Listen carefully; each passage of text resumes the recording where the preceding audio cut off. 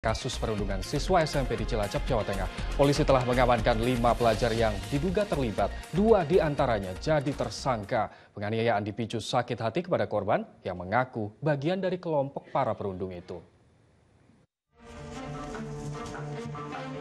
Kasus perundungan pelajar SMP yang menyita perhatian di Cilacap, Jawa Tengah terus didalami polisi.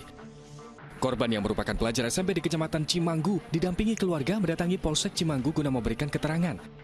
Dalam kasus ini, lima pelajar yang diduga terlibat diamankan. Dua di antaranya yang merupakan kakak kelas korban telah ditetapkan sebagai tersangka, sementara tiga lainnya berstatus saksi. Terungkap, penganiayaan itu dipicu sakit hati kepada korban yang mengaku bagian dari kelompok mereka. Korban ini mengaku termasuk menjadi anggota barisan siswa.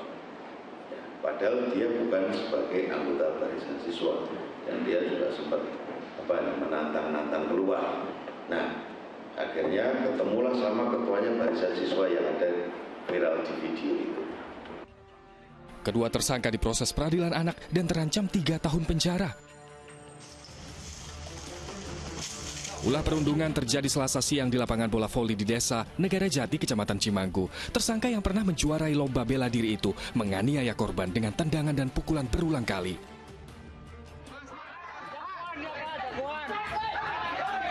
Beredarnya video penganiayaan memancing emosi ratusan warga yang datang ke rumah tersangka dan memaksanya keluar. Beruntung, polisi segera mengamankan pemuda kencur itu ke Polresta Cilacap. Mardianto melaporkan dari Kabupaten Cilacap, Jawa Tengah.